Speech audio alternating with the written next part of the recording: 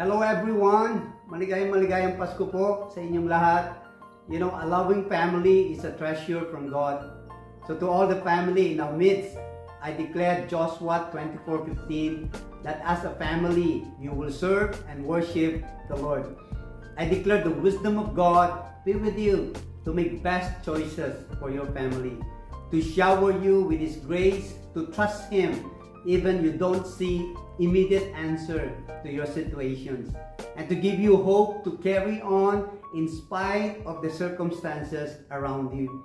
I declare that greatness in your life and your household shall be resurrected and made manifest in Jesus' name. I declare that the devourer will not consume any of your ordained blessings. I declare that every move the enemy makes against you will be reversed with powerful breakthroughs. I declare that every day of your life is crowned with bountiful goodness of God. In Jesus' name. Have a blessed Christmas and a fruitful 2022. God bless you all. Hello! Maligayang Pasko sa inyong lahat. And sa araw ng Pasko, no, I want to give you yung pinaka-greatest gift.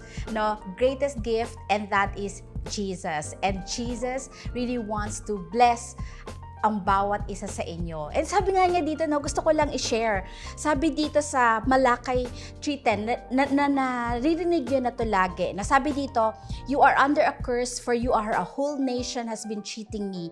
Bring all the tithes into the storehouse so there will be enough food in my temple. ba? Diba? Nasabi ni God is, ano i-bring natin yung kung kung ano yung meron sa kanya. And actually God is not just testing us, but actually God is wanting to release us from that curse so that the moment we give God can give us in overflow. Kaya nga sabi niya dito no, he, it continues says the Lord of the heaven or heaven's armies.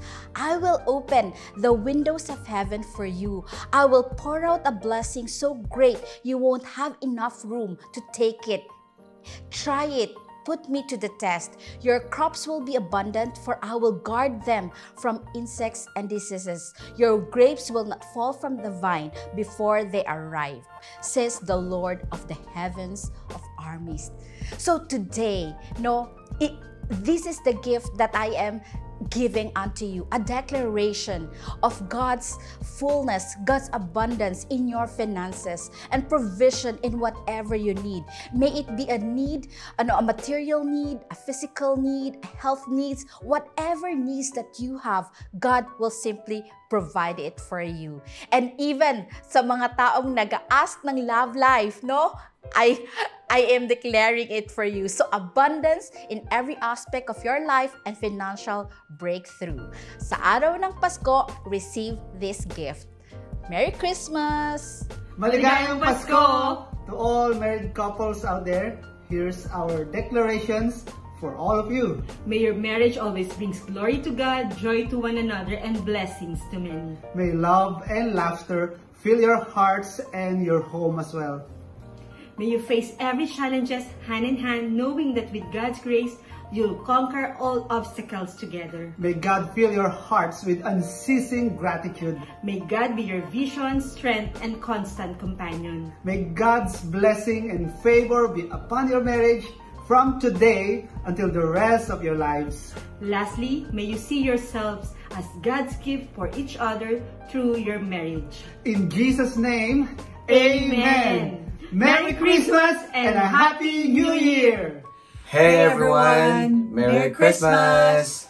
Right, so today we just want to declare to you fresh encounters with the Lord as you seek Him in your daily devotions. We want to declare upon you that you would have the discipline and the hunger to press in for more of Jesus. Amen. And that you would be able to hear and obey mm-hmm. the whisper of the Holy Spirit. All right. We also want to declare upon you that the Lord would give you the courage and the humility to ask Him for forgiveness, Mhm. for wisdom, covering, favor, breakthrough, and the change that you want to see. Also, we want to declare that you can be as who you are in front of the Lord, whether in public or in private. Because you know that public worship is the outcome of your private worship. And lastly, we also want to declare that the Lord would reveal to you what is worship He requires of you, and that He would enable you to respond and obey. A blessed Christmas, everyone! And here is my Christmas declarations over our workplaces. I declare that as we enter our workplaces, we bring and usher the presence of God. I declare of supernatural favor from our colleagues and supervisors. I declare wisdom be upon us to deal challenging situations that we will be facing at work. So I declare financial prosperity and stability in every of our company and in every sectors that we are in. I declare that we can effectively speak the Word of God into our workplaces, that our workplaces will be a platform to share the love of God. And finally, I declare for a fresh supply of strength to do our job, and that God will anoint our projects, our ideas, even our energy, so that even in our smallest accomplishments at work, we will bring honor and glory to God. In Jesus' name. In Jesus' name. Amen and amen. Hi, church. I wish you and your family a very blessed and Merry Christmas. You know, as you prepare for 2022, I declare you to be like a tree planted by the streams of water that whatever you do will prosperous. You know, I declare rains and more rains fall on you. You know, that whatever you sow, you shall reap a great supernatural harvest. I declare the hands of our Lord be on you to set you apart to be, you know, the head and not the tails. I declare God's divine health to be on you, on your mind, your body, your spirit, that every part of your being is covered by the blood of Jesus, that you are strong and whole and healthy in everywhere. All sicknesses, all infirmities and diseases be far away from you and your family. Every cell, every fibrate, bones, issues, tissues, and molecule to be renewed in the name of Jesus. I declare you to be, you know, to have more than enough that you are a great contributor and conduit, you know, of the kingdoms of God. I declare your entire family will be saved. Every prodigal will return. The backslidden will repent, you know, and the lost you know, will be found. As for me and my household, we will serve the Lord shall be on your family. I declare every single one of your gifts will be activated and be effective in Jesus' name. I declare you to be the greatest soul winners as you obey God's great commissions. May you be the healing hands and the serving feet of Jesus, that whatever you go at any time.